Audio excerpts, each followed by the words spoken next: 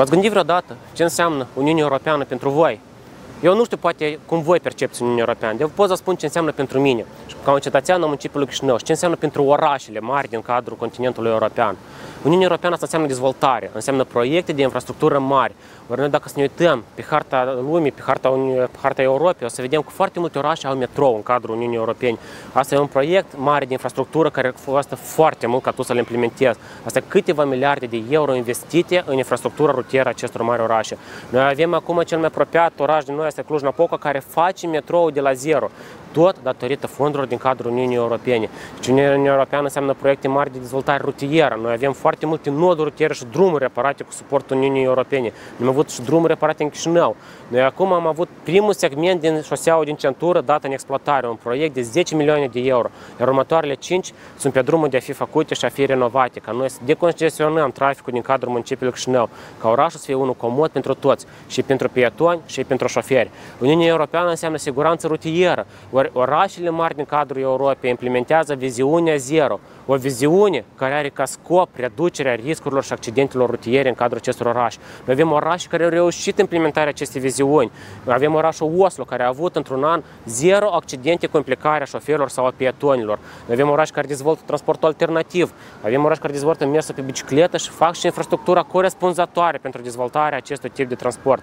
De asemenea, Uniunea Europeană înseamnă investiții în climă și în spațiile verzi. Noi avem foarte multe fonduri pentru reabilitarea albei râurilor, precum ar fi și inclusiv noi avem și nou râul Bâc, care să beneficieze de câteva granturi din partea Uniunii Europene și a Băncii Europene de Investiții și de Reconstrucție.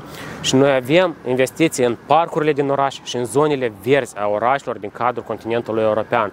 Noi avem în Uniunea Europeană foarte, foarte multe proiecte benefice pentru orașele din cadrul Uniunii Europene. Și ca să înțelegem mai clar ce înseamnă Uniunea Europeană pentru Chișinău, noi nu trebuie să mergem departe. Noi trebuie să trecem doar drumul Bulevardul Ștefan cel Mare, să ajungem în Parcul Catedrale și noi să vedem cum au fost renovat din banii făudați de Consiliul Județean Buzău. Ori noi am primit 350.000 de euro ca să renovăm Parcul Catedrale.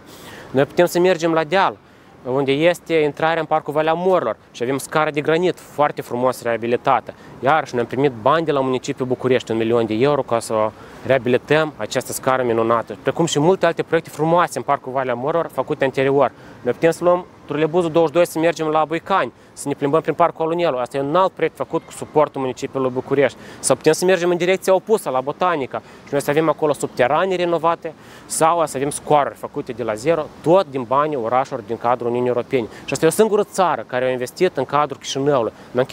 Închipuiți-vă ce ar însemna ca toate 27 de țări să investească în infrastructura municipiului Chișinău. Deci Uniunea Europeană pentru mine înseamnă dezvoltarea comună a orașelor. Asta înseamnă dezvoltare prin cooperare. Pentru mine Uniunea Europeană înseamnă pace, pentru că noi putem să mergem, să admirăm acest oraș și împreună să contribuim la creșterea lui. Noi avem foarte multe instrumente în cadrul Uniunii Europene de conlucrare cu cetățenii, prin care cetățenii singuri decid ce tip de proiecte vor fi implementate în cadrul acestui oraș sau ce proiecte ar fi mai bine ca să fie implementate. Noi avem avem orașe care au implementat bugetarea civilă, bugetarea participativă și noi avem orașe care au implementat discuțiile largi cu cetățenii prin care petițiile mari sunt discutate în consiliile locale. Pentru mine, Uniunea Europeană înseamnă dialog și înseamnă ca oamenii acestor orașe să fie ascultați. Din acest considerent, pe 20 octombrie, eu voi merge la referendum și voi vota da, pentru că Moldova să fie parte componentă a Uniunii Europene, iar Chișinău să se dezvolte cu pași rapizi, să avem un oraș frumos, să avem un oraș verde, cu infrastructură corespunzătoare, cu trolebuze și autobuze noi, cu drumuri reparate și cu o centură frumoasă în jurul orașului, să avem transport alternativ și să avem, într-adevăr, un oraș în care vrei să trăiești, un oraș în care vrei să rămâi și în care tu îți vezi viitorul și să aducem Uniunea Europeană aici, acasă, în Republica Moldova, în municipiul Chișinău. Pe 20 octombrie votăm da la referendum.